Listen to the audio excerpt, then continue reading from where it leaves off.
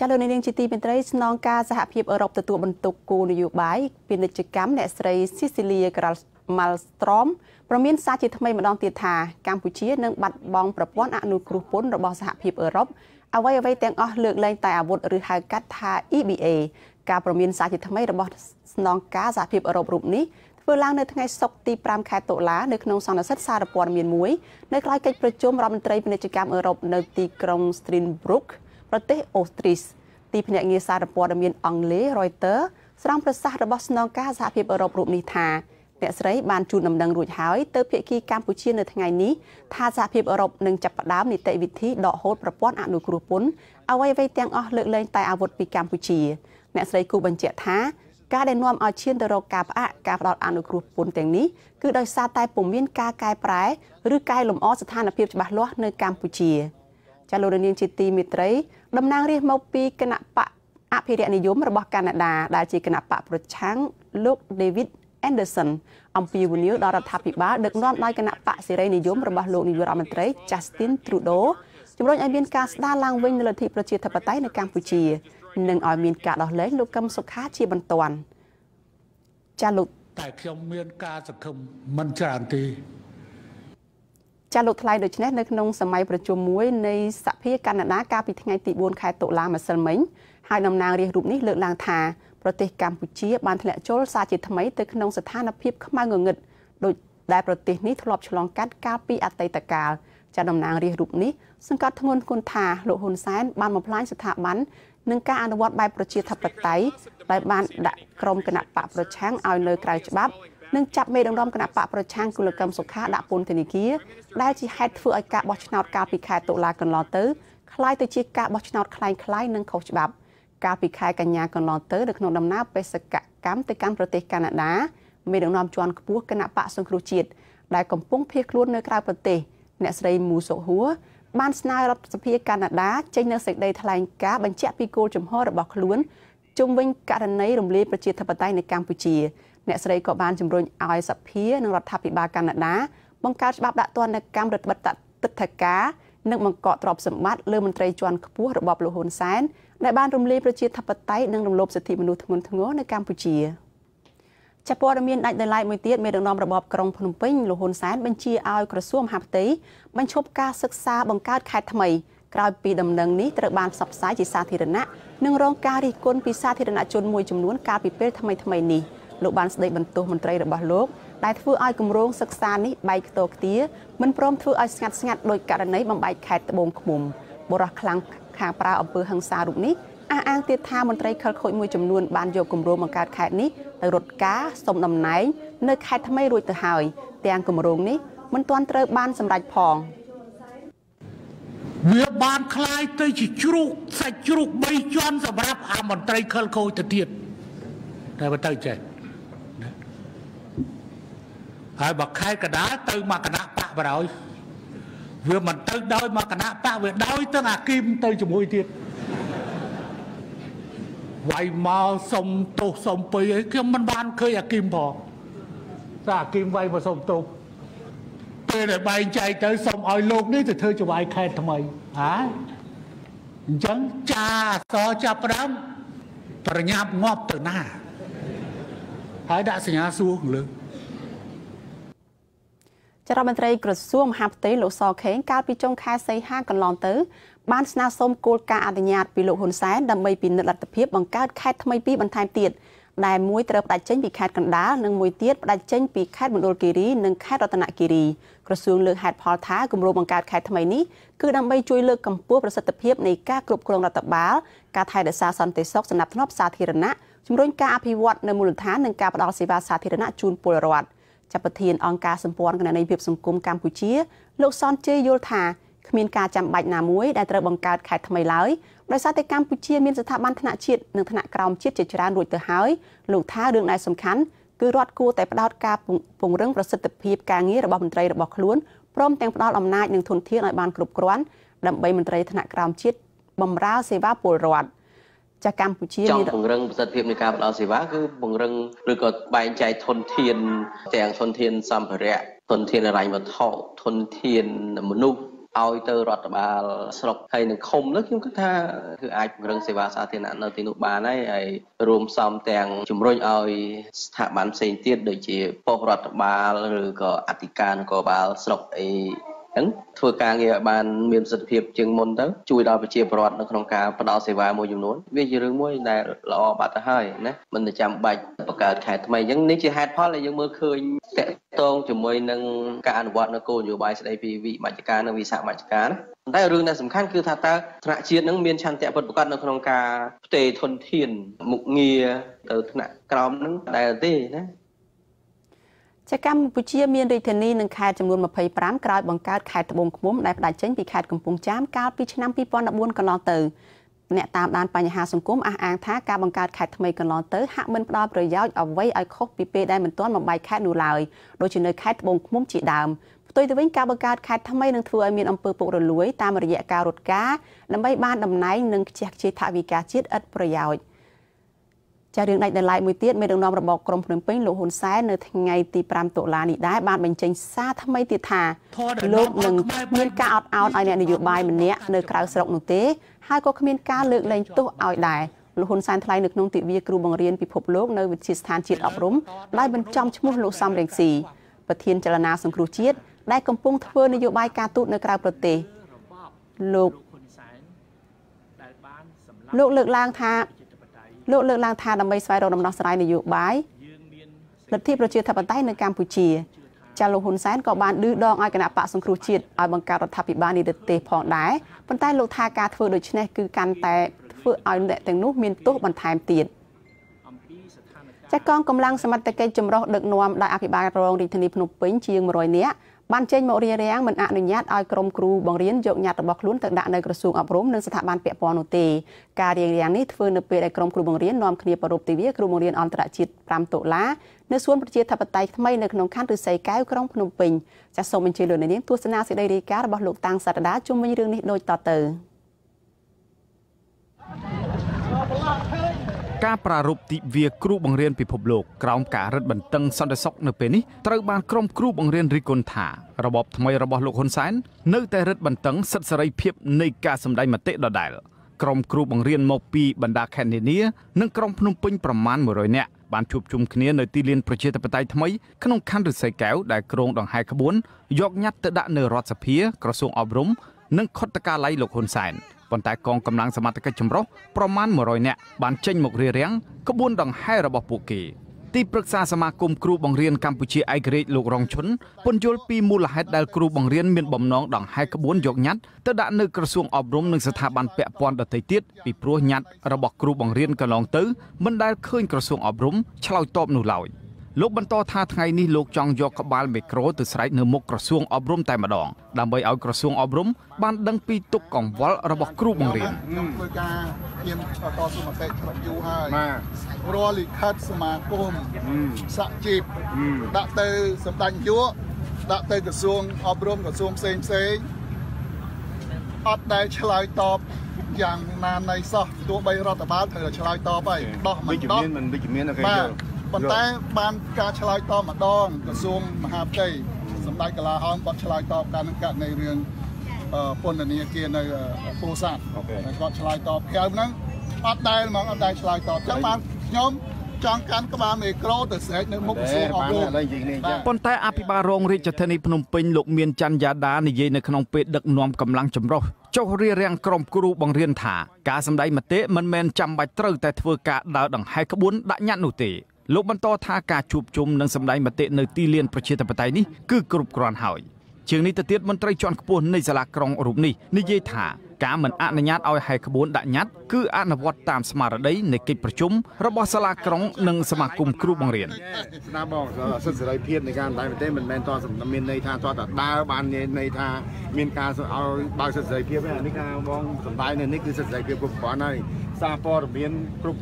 ប៉ុស្តិ៍គ្រប់កន្លែងមកយកសារព័ត៌មានពីបងអញ្ចឹងខ្ញុំគិតថា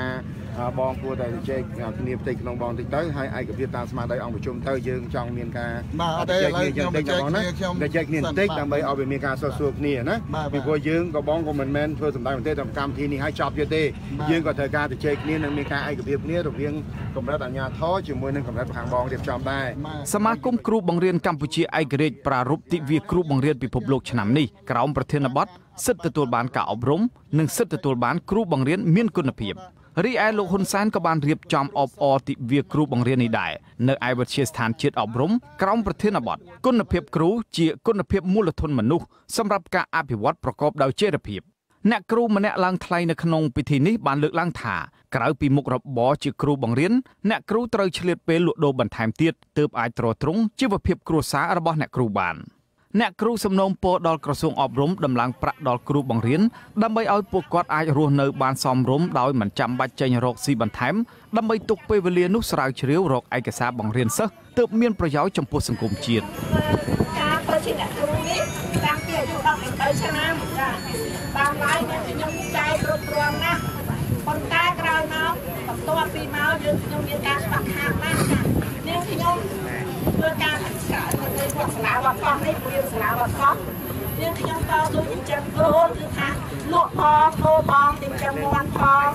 ចិញ្ចឹមផងនៅលើផ្ទះហើយធ្វើលោកឲ្យកូនលក់ទៅលក់ដល់ខ្លួនឯងជួនកាលទៅត្រូវគេចាប់ចាប៉ុន្តែមានមានឃើញខ្លះអ្នកខ្លះទៅលក់បានឲ្យលក់ចំណែកយើងខ្ញុំគេចាប់មានមកខ្លួនថាគេអ្នកនោះលក់បានចាមិនមានភាពចឹងមកបាក់ខាតពេកធ្វើអ្នកគ្រូពីដើមកណ្ដាលទៅលក់ទេកណ្ដាលយើងទៅលក់ទៅដូរមានមុខរបរដូចអង្គស្រីជាភាសាហ្នឹងជារបរទី2ទៀតធ្វើឲ្យយើងនឹងបាត់បង់ការស្រាវជ្រាវបច្ចេកទេសសិក្សាអស់មកឲ្យអប់រំនឹងយើងការចុះតតខ្សែយើងដឹងថាប្រទេសមួយមួយក្រសួងអប់រំការអប់រំនេះត្រួតត្រាកណ្ដាលវិជាមូលដ្ឋានគ្រឹះនៅតាមត្រួតត្រាការអប់រំបានល្អកូនចៅក៏បានល្អ លិខិតចំហរបស់សមាគមគ្រូបង្រៀនកម្ពុជាឯករាជ្យទាមទារទៅរបបលោកហ៊ុនសែនឲ្យដំឡើងប្រាក់ខែចំនួន2លានរៀលទៀតក្នុងមួយខែដល់គ្រូបង្រៀននិងទាមទារប្រាក់ឧបត្ថម្ភកូនគ្រូបង្រៀនចំនួន40000រៀលព្រមទាំងប្រពន្ធ50000រៀលប្រាក់គរុកោសល40000រៀល ប្រាក់ទ្រទ្រង់សុខភាព និងប្រាក់អត្ថប្រយោជន៍ផ្សេងៗដល់គ្រូបង្រៀនប្រធានសមាគមគ្រូបង្រៀនកម្ពុជាឯករាជ្យអ្នកស្រីអុកឆាយាវីយល់ថាតើតើមានការដំឡើងប្រាក់បៀវត្សដល់គ្រូបង្រៀនឲ្យបានសមរម្យគឺចំនួន2លានរៀលនិងការផ្ដល់ប្រាក់អត្ថប្រយោជន៍ផ្សេងៗទៀតដល់ពួកគេទើបធ្វើឲ្យគ្រូបង្រៀនមានជីវភាពថ្លៃថ្នូរហើយលែងឆ្លៀតទៅប្រកបមុខរបរទី2និងលែងចម្រិតទាលុយពីសិស្សខ្ញុំតាំងសារ៉ាដាអាស៊ីសេរីពីរដ្ឋធានី Washington ចាក្រសួងការងារកំណត់ប្រាក់ឈ្នួលគោលឲ្យកម្មករសម្រាប់ឆ្នាំ2019គឺ177ដុល្លារហើយលោកហ៊ុនសែនបន្ថែមថវិកាជាតិ5ដុល្លារថែមទៀតដូច្នេះប្រាក់ឈ្នួលកម្មករសម្រាប់ឆ្នាំ2019គឺ182ដុល្លារគឺបានកើនឡើង12ដុល្លារបើធៀបនឹងប្រាក់ឈ្នួលអបបរមាក្នុងឆ្នាំ2018នេះដែលមាន170ដុល្លារក្នុងមួយខែចាសហជីពឯករាជ្យធំធំចំនួន2គឺសហភាព ការងារកម្ពុជានិងសហភាពសម្ព័ន្ធសហជីពកម្ពុជាមិនបានបោះឆ្នោតគាំទ្រប្រាក់ខែគោលចំនួន182ដុល្លារនោះទេប្រធានសហព័ន្ធសហជីពកម្ពុជាជាតិកម្ពុជាគឺអ្នកស្រីយ៉ាងសុភ័ណ្ឌប្រាប់ថាចំនួននេះមិនសមស្របទៅនឹងតម្រូវការជាក់ស្ដែងរបស់កម្មករនិងមិនអាចធ្វើឲ្យពួកគេរស់នៅបានថ្លៃថ្នូរទេ អ្នកស្រីសោកស្ដាយដែលក្រមភិក្ខីសហជីពជាច្រើនមិនបាននាំគ្នាការពារផលប្រយោជន៍របស់កម្មករនៅកម្រិតប្រាក់ឈ្នួល189ដុល្លារតែបែរជាទៅយកតួលេខ177ដុល្លារទៅវិញចាស់ប្រាក់ឈ្នួលកំណត់ថ្មី182ដុល្លារក្នុងមួយខែនេះនឹងត្រូវចាប់ផ្ដើមនៅខែមករាឆ្នាំ2019ដោយរក្សាទុកនៅប្រាក់អត្ថប្រយោជន៍ផ្សេងៗនៅដដែលយ៉ាងណាក៏ដោយប្រធានសហព័ន្ធសហជីពខ្មែរដែលជាសហជីពស្និទ្ធនឹងក្រុងភ្នំពេញលោក ជួនមុំថលសប្បាយចិត្តខ្លាំងចំពោះតួលេខ182ដុល្លារក្នុងមួយខែចាហើយប្រធានសហជីពរូបនេះអះអាងថាលោករើសយកតួលេខ177ដុល្លារក៏ព្រោះតែតាមការសិក្សាបច្ចេកទេសរបស់សហជីពលោកបង្ហាញថានេះគឺជាតួលេខល្អនិងធ្វើឲ្យកម្មករកាន់តែសប្បាយចិត្តចាំមាត្រា104នៃច្បាប់ស្តីពីការងារចែងថាប្រាក់ឈ្នួលកម្មករយ៉ាងហោចណាស់ត្រូវរ៉ាប់រងកម្មករនិយោជិតគ្រប់រូបឲ្យមានកម្ពស់ជីវភាពសមរម្យទៅតាមសេចក្តីថ្លៃថ្នូររបស់មនុស្ស ចំណែកអ្នកសម្របសម្រួលមជ្ឈមណ្ឌលសម្ព័ន្ធភាពការងារនិងសិទ្ធិមនុស្សលោកខុនថារ៉ូសង្កេតឃើញថាការដំឡើងប្រាក់ឈ្នួលឲ្យកម្មករកន្លងមកមិនទាន់អាចធ្វើឲ្យជីវភាពកម្មករប្រសើរជាងមុនទេលោកចង់ឃើញរដ្ឋកំណត់តួលេខឲ្យជាក់លាក់ដើម្បីឆ្លើយតបនឹងជីវភាពកម្មករពិតប្រាកដជាជាងការចរចាដំឡើងប្រាក់ខែហើយនឹងឆ្លៀតកេងចំណេញនយោបាយបបើទោះជាយ៉ាងណាមេដឹកនាំនៃរបបក្រុងភ្នំពេញក្រសួងការងារសហជីពស្និទ្ធនឹងរបបក្រុងភ្នំពេញរួមទាំងថៅកែរោងចក្រ អះអាងថាការដំឡើងប្រាក់ឈ្នួលកន្លងមក បានធ្វើឲ្យកម្មករមានសភាពមានជីវភាពសមរម្យប្រសើរជាងមុនប៉ុន្តែរបបនេះតែងតែចេញលិខិតអន្តរាគមន៍ស្នើសុំទៅថៅកែរោងចក្រឲ្យបើកលុយឲ្យកម្មករនៅមុនថ្ងៃដើម្បីធ្វើសហុយទៅលេងស្រុកឬទៅបោះឆ្នោត នៅពេលដែលពួកគេត្រូវការប្រាក់ចំណាយបន្ថែមចាជាបន្តទៅទៀតនេះចានេះខ្ញុំមានកិច្ចសម្ភារផ្ទាល់មួយជាមួយលោកអាត់ធុនប្រធានសហព័ន្ធសហជីពប្រជាធិបតេយ្យកម្មករកម្ពុជា តាមប្រព័ន្ធវីដេអូ Skype ចាដើម្បីសាកសួរលោកបន្ថែមជុំវិញបញ្ហានេះដូចតទៅចាសូមជម្រាបសួរលោកអាត់ធុនចាបាទសូមជម្រាបសួរបាទ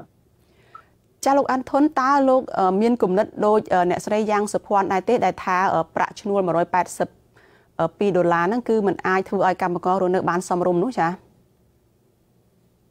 បាទតាមការពិតទៅគឺសហជីពបាន ជជែកគ្នាហើយថ្ងៃចុងក្រោយគឺសហជីពបានយកគ្រូលេខ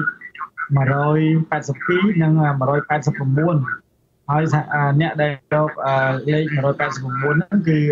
យើងខ្ញុំខ្ញុំដោយយល់ឃើញថា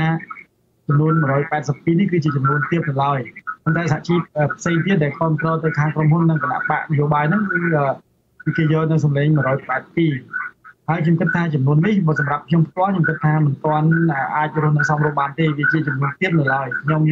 ផ្ទាល់ក៏ដូចជាសមាជិកយើងក៏មិនទាន់ពេញចិត្តនៅក្នុងចំនួនលេខនេះបាទចាដែលលោកលើកថាលោកលើកឡើងថាមិនទាន់បានសំរុំនោះតើមានន័យថាយ៉ាងម៉េចចាចំពោះលោកចំពោះក្រុមកម្មករចាបន្តាមការស្រាវជ្រាវរបស់យើងគឺបញ្ជាក់ថាកម្មករជាមធ្យមគាត់ចំណាយជាង200ដុល្លារហើយ ពេលបច្ចុប្បន្ននេះប្រាក់ឈ្នួលអបបរមាតែ170ដុល្លារទេហើយការដែលទទួលបានប្រាក់ឈ្នួលទៀតជាងកម្រិតរស់នៅសមរម្យនេះឬក៏កម្រិតរស់នៅពេលបច្ចុប្បន្ននេះវាធ្វើឲ្យកម្មករហ្នឹងខំប្រឹងធ្វើការបន្ថែមឬក៏រកប្រាក់ចំណូលក្រៅម៉ោងឬក៏ដេស៊ីបងដែលបន្តិចពីបញ្ហាសុខភាពរបស់ខ្លួនដើម្បីបន្ទប់ការរស់នៅអញ្ចឹងបើសិនជាប្រាក់ឈ្នួលអបបរមានេះវាកម្រិតការរស់នៅបានហើយអញ្ចឹងការបន្ថែមម៉ោងឬក៏បន្ថែមអឺ វេនឬក៏ទូនាទីផ្សេងផ្សេងទៀតដែលដែលគាត់ធ្វើការទៅន័យថាគាត់សន្សំលុយនោះដើម្បីទៅធ្វើការទៅដោះស្រាយបញ្ហាផ្សេងផ្សេងអញ្ចឹងបើយើងមើលពេលបច្ចុប្បន្ននៅពេលដែលប្រាក់ខែនេះទៀតគាត់ធ្វើការដើម្បីតែបង្កើនការរស់នៅគិតថាមិនគិតពីសុខភាពរបស់ខ្លួនទេបាទចាលោកអាត់ធុនលោកមានការឆ្លើយតបយ៉ាងម៉េចពីព្រោះមានការលើកឡើងឲ្យថាបើឲ្យនិយាយថាគ្រប់គ្រាន់នោះគឺមិនចេះគ្រប់គ្រាន់ទេសម្រាប់តម្រូវការរបស់មនុស្សនៅក្នុងសង្គមបច្ចុប្បន្ននេះណាចាលោកឆ្លើយតបយ៉ាងម៉េចចា ដូចខ្ញុំបានលើកឡើងថាតាមការសិក្សាស្រាវជ្រាវគឺយ៉ាងហោចណាស់ក៏ចំណាយ200ដុល្លារដែរហើយចំណូលកម្មករជាមធ្យមនេះគឺជាង200ដុល្លារពីបច្ចុប្បន្ននៅពេលដែលគាត់ធ្វើការបន្ថែមម៉ោងនិងគាត់ធ្វើការដេស៊ីបងឬក៏គាត់បន្ថែមវេនដែលគាត់អាចបានប្រាក់ខែបែបនេះបើតាមការកំណត់ប្រាក់ឈ្នួលអបបរមាជាគោលការណ៍អន្តរជាតិគឺគេត្រូវផ្អែកទៅលើស្ថានភាពសេដ្ឋកិច្ចនិងសង្គមហើយជាពិសេស គឺទៅលើការចំណាយនិងការរស់នៅតែម្ដងជាពិសេសដូចជានៅក្នុងមេត្រា104ស្ដីពីច្បាប់ស្ដីពីការងារបាទហើយការដែលផ្ដល់ឲ្យទៀបបែបនេះបានន័យថាគឺជាលទ្ធភាពមួយដែលមានការលំបាកតែកម្មកររបស់យើងនេះគឺថាត្រូវតែខំប្រឹងធ្វើការបន្ថែមទៀតដើម្បីឲ្យប្រាក់នេះមិនគ្រប់តែការរស់នៅតែប៉ុណ្ណោះអញ្ចឹងបើសិនជាស្ថានភាពទីផ្សារឬក៏បញ្ហាអតិផរណានឹងបានសមរម្យខ្ញុំគិតថាវាមិនបញ្ហាទេប៉ុន្តែ យើងមើលតំណែងទីផ្សារគ្រប់ប្រភេទគឺដូចជាអតិផរណាឡើងអត់ឆោតហើយប្រាក់ឈ្នួលនេះគឺតែគិតតែតាមកម្រិតតែកម្មករនឹងចាយរស់នៅសង្គមបានចឹងហើយធ្វើឲ្យកម្មករមានការពិបាកបាទចាលោកអាត់ធុនទោះបីជាចង់មិនចង់ឥឡូវនេះគឺប្រាក់ឈ្នួលគោរបស់ក្រមកម្មករក្នុងវិស័យវិនិភ័ណ្ឌនិងកាត់ដេនដេស្បែជើងហ្នឹងគឺ182ដុល្លារសម្រាប់ឆ្នាំ2019ហើយ ហើយនៅស្របពេលដែលលោកលើកឡើងបាញ់មិញនេះជាគឺមានការកើនឡើងនៅថ្លៃទំនិញថ្លៃសាំងថ្លៃប្រាក់ឈ្នួលអីអីផ្សេងផ្សេងហ្នឹងតើដើម្បីដោះស្រាយដើម្បីឲ្យកម្មករគាត់អាចបានន័យថាប្រើប្រាស់ប្រាក់នឹងគ្រប់គ្រាន់ថាតើគួរតែមានការស្នើឡើងអីដូចយ៉ាងម៉េចឃ្លាតទៀតចាស្រួលយ៉ាងម៉េចទៀតដើម្បីពួកគាត់បានចាយគ្រប់គ្រាន់នឹងចាដោយសារតែនៅក្នុងការជជែកវិភាសាគ្នានៅក្នុងការកំណត់ប្រាក់ឈ្នួលអបបរមានយោជកខាងខាងរដ្ឋាភិបាល គឺมันបានផ្ដល់ឲ្យខ្ពស់នេះហើយបានជាខាងសហជីពគឺយើងមានការស្នើនៅចំណុចផ្សេងផ្សេងទៀតដូចជាការដល់ឲ្យលទ្ធភាពដែលបោកប្រាក់ថ្លៃបាយថ្ងៃត្រង់ឬក៏ប្រាក់សម្រាប់ធ្វើធ្វើដំណើរនិងឲ្យរដ្ឋាភិបាលបន្តអនុវត្តគម្រោងបញ្ចូលតម្លៃអគិសនីនិងតម្លៃទឹកនៅតាមតំបន់ផ្សេងៗជាពិសេសពង្រីកឲ្យទៅតាមគោលដៅហើយអឺចំពោះផ្ទះជួលរបស់កម្មករនឹងត្រូវទៅធានាថា ឲ្យមានការដំឡើងច្រើនពេកដែលធ្វើឲ្យកម្មករនយោជិតហ្នឹងគឺឡើងប្រាក់ឈ្នួលបន្តិចហ្នឹងគឺថាទៅបង្ក្រប់ការស្មានផ្ទៃផ្ទះហ្នឹងតែម្ដងហើយនឹងយើងមានស្នាផ្សេងៗទៀតដូចជាអឺឲ្យមានការធានាទៅលើការផ្ដល់សេវាពេទ្យបបសន្តិសុខសង្គមផ្សេងៗហ្នឹងឲ្យបានប្រសើរទៅដល់កម្មករកុំឲ្យកម្មករចំណាយលុយក្រៅឬក៏ចំណាយការងារមួយចំនួនទៅលើការព្យាបាលហ្នឹង ដូចជាការស្នើឲ្យពិនិត្យមើលលទ្ធភាពនៃបណ្ដឹងទាំងឡាយដែលដឹងប្រកបសហជីពដោយសារតែការងារសហជីពនិងការកែប្រែនៃច្បាប់ការងារមួយចំនួនដែលជាឧបសគ្គនៅក្នុងការអនុវត្តការងាររបស់កម្មករជាដើមបាទ ចាលោកអធុនសំណួរចុងក្រោយគឺថាតើហេតុម៉េចយើងនៅមានការចរចាមានការជជែកគ្នាពីការទៀមទាប្រាក់ឈ្នួលគោលនឹងហើយប៉ុន្តែ នៅតែមិនអាចឲ្យផ្ដល់ប្រាក់ឈ្នួលដែលអាចធ្វើឲ្យកម្មកររស់នៅសមរម្យបានចំពោះអ្នកសង្គមស៊ីវិលមិញគាត់លើកឡើងថាគួរតែកំណត់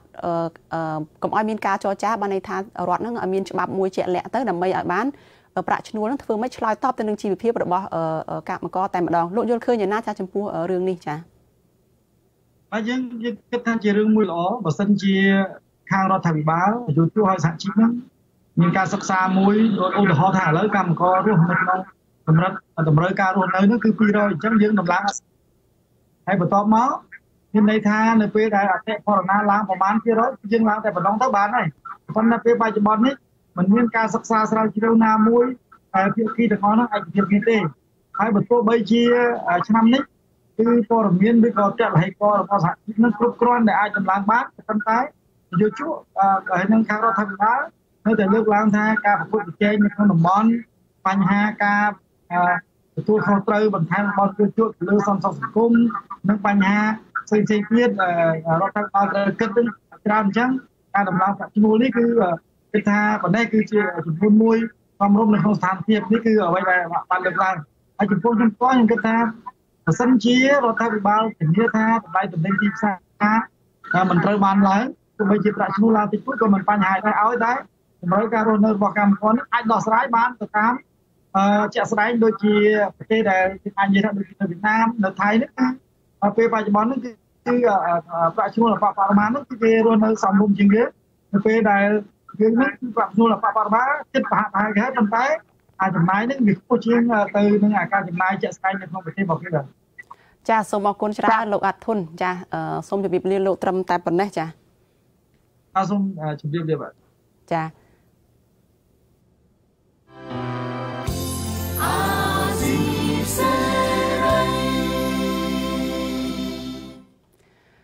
ចលនាយើងជាទីមេត្រីសមត្ថកិច្ចក្រសួងមហាផ្ទៃអះអាងថាមេខ្លោង2នាក់ទៀតដែលរបបលោកហ៊ុនសែនធ្លាប់ចោទប្រកាន់ថាពាក់ព័ន្ធនឹងការជួញដូរអាវុធខុសច្បាប់ ក្នុងបំណងផ្ដួលរំលំរដ្ឋាភិបាលត្រូវបានចាប់ខ្លួននៅខេត្តបៃលិននៅថ្ងៃទី5ខែតុលានេះរហូតមកដល់ពេលនេះសមត្ថកិច្ចបានបញ្ជូនជនសង្ស័យទាំងពីរនាក់ទៅកាន់តុលាការដើម្បីចាត់វិធានការតាមច្បាប់តែទោះជាយ៉ាងណាសមត្ថកិច្ចនៅមិនទាន់បញ្ជាក់នៅឡើយទេថាតើជនសង្ស័យទាំងពីររូបនោះមានឈ្មោះអ្វីខ្លះនោះអាស៊ីសេរីបានព្យាយាមសុំការបំភ្លឺពីលោកខៀវសុភ័ក្រអ្នកនាំពាក្យក្រសួងមហាផ្ទៃ ប៉ុន្តែលោកមិនលើកទូរស័ព្ទកាលពីថ្ងៃទី3ខែតុលាឆ្នាំ